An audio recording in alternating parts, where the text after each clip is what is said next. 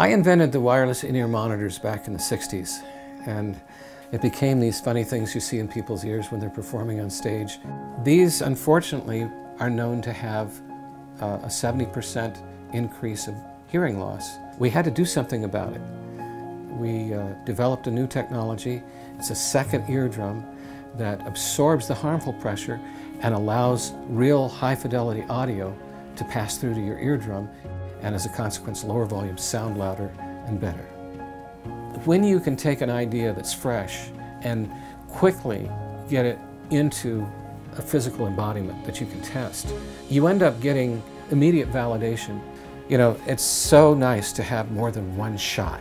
It used to take so long to build these things. With Fusion, you can, you know, dream of something, build it, and then just go and port that right out to a 3D printer and play with it. There's an awful lot of things that don't work as expected, and they're wonderful. Trying out maybes, the ability to go what if, and not have to invest the moon. You could have a harebrained idea. So what? Go try it. I wanted to know what Fusion had to offer.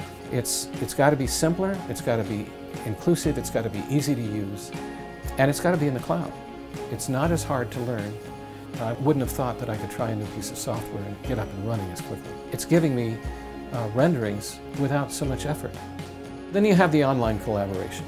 It's easy to use, and you're creating online together, so you're jamming. For me, I'm really happy to see. I think that Fusion uh, is where everything is going. The ability to build accurate parts quickly and try them has happened. It's a renaissance.